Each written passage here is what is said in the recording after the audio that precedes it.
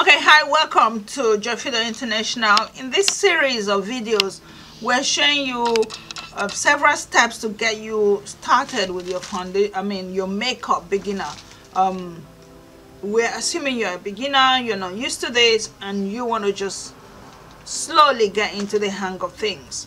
And like I said in the previous video, which was introducing it, um, I got inspired by my daughter and my friend who are struggling with starting their, their makeup journey. So that's what we decided to uh, create this series of videos to help people who are in similar position. So in this particular video, we'll be looking at foundation. And foundation is our step four. So the other video we had step one, step two, step three. If you can, just go back on that video to get you started and so now we're in our step four stage which is the foundation. And step five adding the loose powder or setting the foundation in place which is the loose powder. So welcome on board. Okay my name is Joy Phido. In case I had not mentioned it and I'll be taking you through this step which is the foundation and the loose powder stage. So let's get cracking in one of the previous videos as well we had shown you how we mixed our foundation. So this is our foundation that we're going to work with.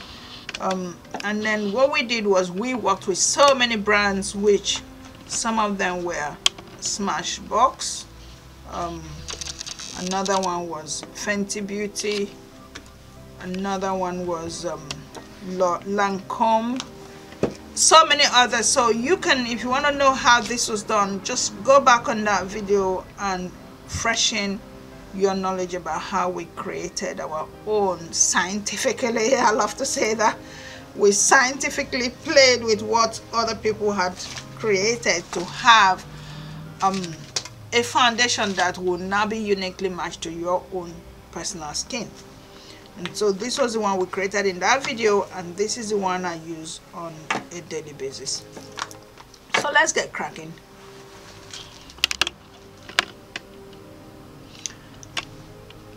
Okay so the first thing we want to look at is the brush we use for our foundation. Um this was quite a cheap brush for me. I got it from Primark if you're in the UK um, the one I use for foundation as well is that one. Both of them can do concealer I mean I use this for my um, concealer. So both of them can do both concealer and foundation. So you can decide which one works for you. I don't like this side because it takes a lot of um, product. So I prefer the smaller sides. So I've got a hint of my foundation already on the on this brush and I'm going to start applying them so that goes on and then you start putting it in place. Remember this plate this face has already been set with our um, concealer and color corrector. So a hint of foundation and then we just put it all over the face face now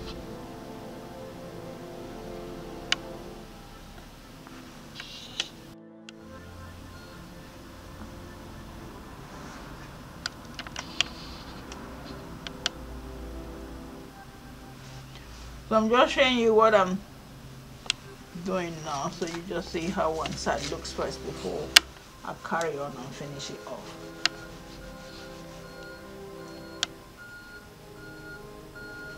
So foundation is basically making sure that everything's blending together and is all coming together adding up to give you that flawless face and I'm sure you remember what my face looked like before I started this whole process. It's quite interesting because um, I got people telling me all kinds of things when they see some of my makeup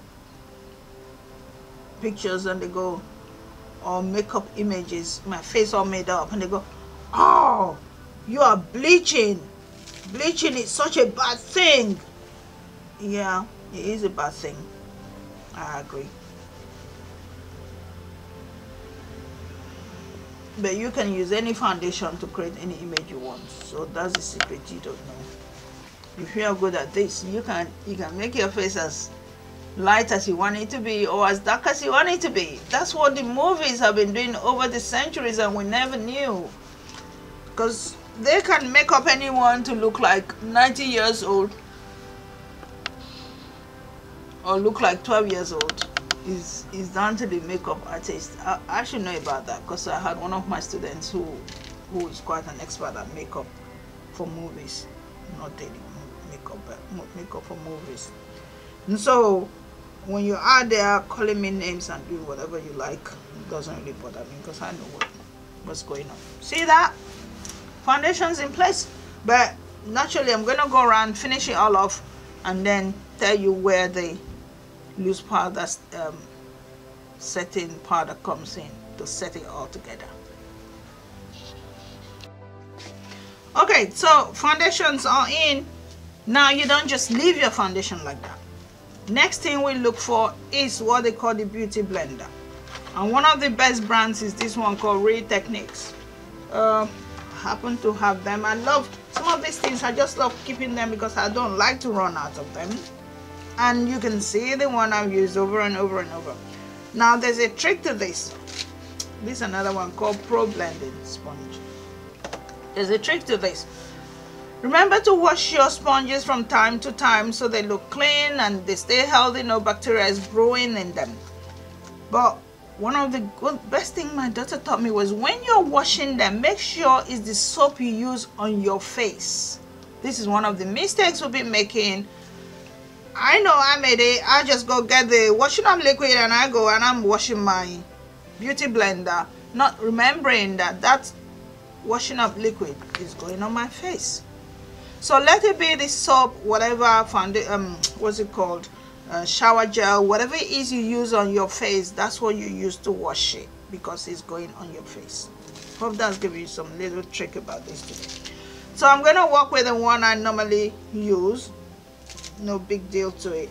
Another little trick again is let it be a bit damp. Remember let it be damp. Because if it's not damp it's going to just take away all the foundation that you put there. So if it's damp it allows it to sit in place. So this is what you're doing. You just press it in place so you're not just leaving it to just sit there and be glossy all over your face. So remember your foundation has to be completely blended in. That's why they call it beauty blender. Now some people use brush but this beauty blender does a good job. Oh there was something else that came out at some at another time. It's like it's like a toothbrush but quite nice as well. I have it somewhere but i can't make out exactly where it is and that was another thing some people use but I am just um, kind of a beauty blender addict. I kind of like it because it does the job for me. Um, remember the thing with makeup and I can tell you this clearly not just makeup. The thing with everything in life is we're just looking for the easier way to do things. This is where technology comes in and helps us to progress in life so if you're one of those people who really hate technology and you don't want to be bothered with it, you're actually being left behind if you don't know that. Because I've, I've done a video where I try to explain that we really must move on in life. Go with the flow. When new things come out, don't say, I hate that one. I want to resist it. Try If it doesn't work, then you say, okay, I don't want to deal with it. This beauty blender is one of those new things that came out that really really helps lots of us with our makeup. So you see how I'm just touching up to my brow and going in between to also touch where I had that unibrow effect and coming out and now see what I'm doing the edges of my hair I'm trying to make sure my foundation is also going in there. So it's not giving me a two-tone look see that. Let it blend in. Um when I'm done I'm definitely I'm wearing my wig hence I've got my wig cap on. But this has to sit in well. And if I was tying head tie or gele which you've seen in a video recently or from time to time we do different videos. Again make sure that your foundation sitting well before you go throwing on your gele so that's what's going on here. Um can you see it's all blended in? And then the next place is your neck. Um, let me just push this down as much as well. Lots of people still get that wrong as well. Face different neck different. Try and connect them. And this is why sometimes when you finish you find that your clothes have eaten half of the makeup as well um, I've seen people who use concealer to conceal their arms and their ears and if you wanted to um, somehow my ear blends in with my foundation mostly so I don't need to do much of that. But see the corners I'm making sure it goes in. Make sure it goes so it connects your face and every part of you. Um, this is where makeup will really go wrong when people have here a different shade and here a different shade. So just try and let everything go together. That's what that beauty blender does. Try and make everything sit well. And if you're not happy uh, with the with the finished look feel free take more foundation and put in place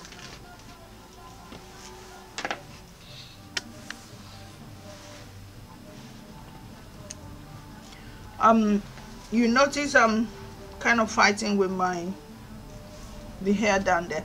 Um normally I would not do a, a video without waxing them off but I needed to get this video done. Because if I don't create this time it's not going to happen in a long time so I decided let me just do it. But if you're doing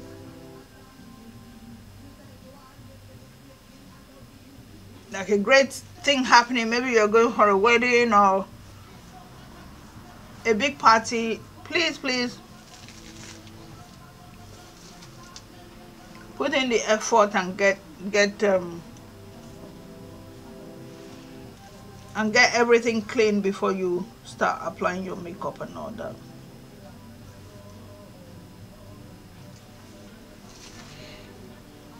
So anyway you're not happy just touch it up a little bit and conceal it or blend it in nicely. That's there. And that's there just to blend it in nicely again. And you're gonna find what I'll do next with um, with concealer again.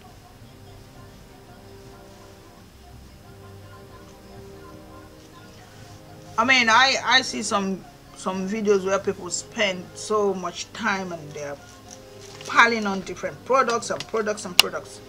That's why we just put this into steps so that you just know that once you've got this bit you don't need to worry about anymore. So this is that stick foundation. This is the elf one. Not foundation the concealer. This is where they come in handy again. You finish you're not happy you just come and just line them over where whatever it is is that you're not happy with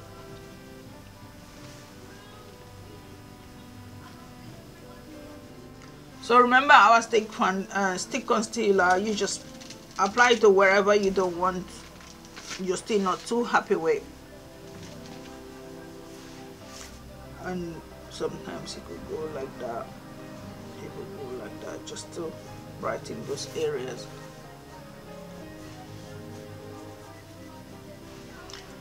And that's done and then you beauty blend it in blend blend blend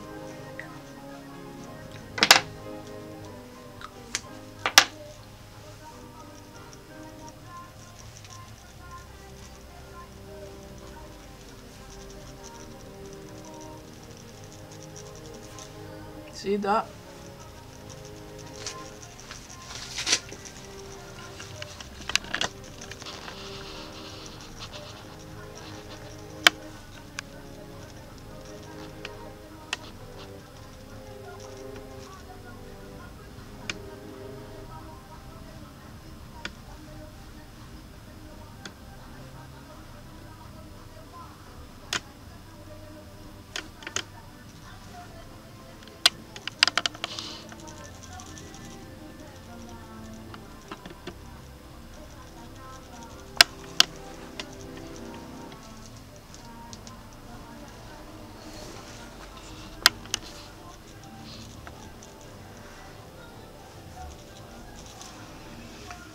and that's um that's foundation blended in. Um what you can then do again is if you find um that it's still it's affected your your eyebrow you just come back again with the with the con with the brush that you were using because you don't need to apply any more foundation on them. And you clean it off again if it's made your brow look a bit rough to give it that sharp clean look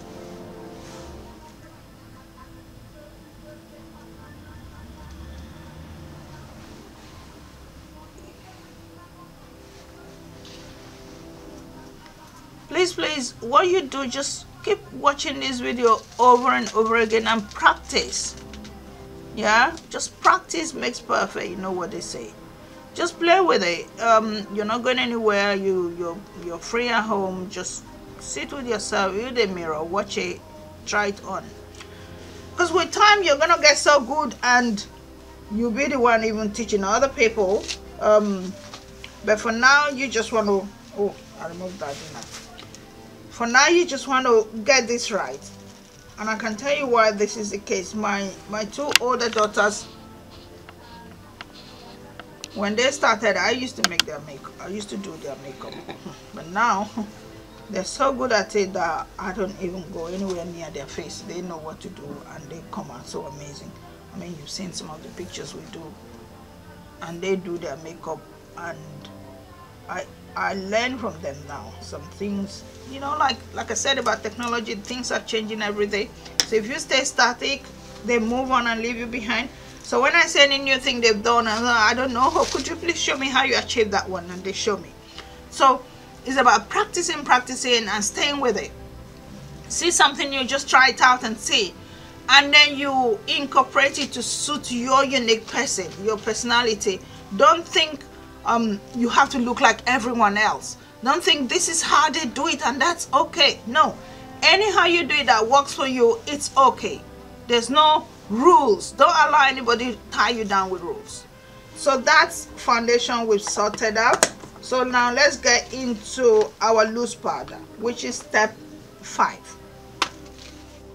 Okay, so now we're ready to set this foundation that we put in place and my favorite favorite loose powder is called Sacha. There are other ones you hear banana powder um, different types of powders. It has to be loose. I mean sometimes some people use the white one. I've seen white ones here and there with different people. Um, but I absolutely if I'm really really trying to have my foundation looking really nice this is the one I, my go-to one Sacha. So next thing you want to do is get a good brush for your for your loose powder. Um, I've also played with using the beauty blender. There's another beauty blender I have that I'm using trying to get this one the um, loose powder in place and it never sits well like when I use this. This again my daughter taught me the trick.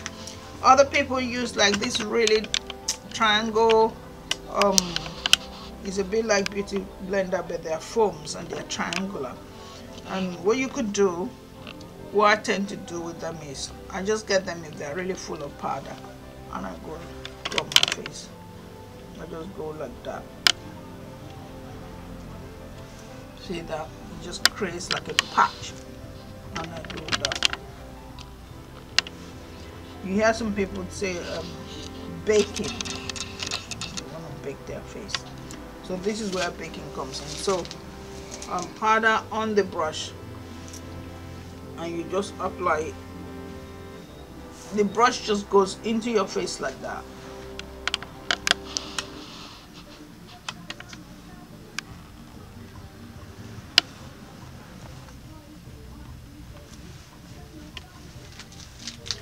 So what this does it takes away that shine that the foundation left on your face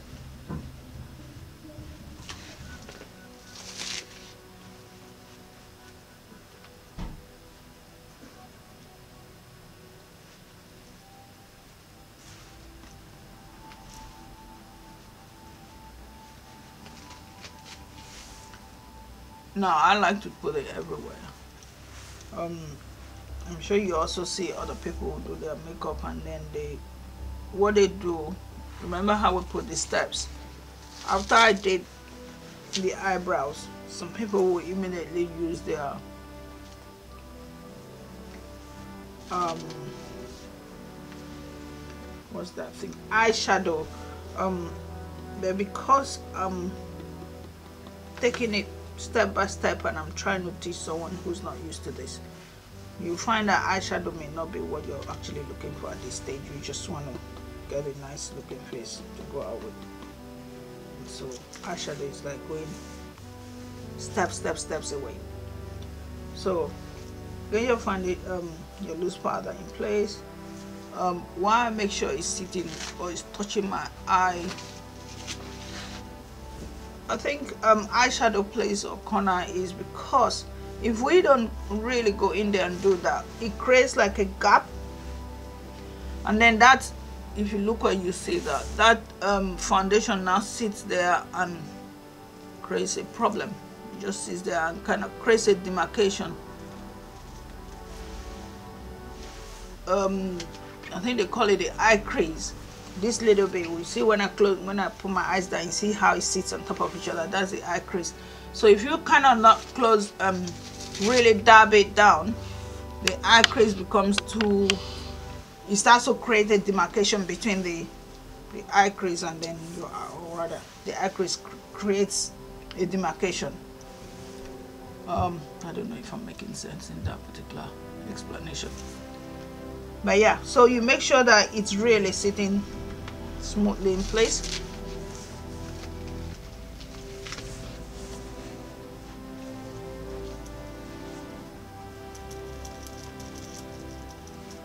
So kind of like seal everything in. Ah so um I'm I'm going to just let some not overdo some because um this is a video for a beginner perfection here. Okay so that's our loose powder in place held the face together. So I think that was the step in this particular video getting the foundation in place getting the loose powder in place and that's done.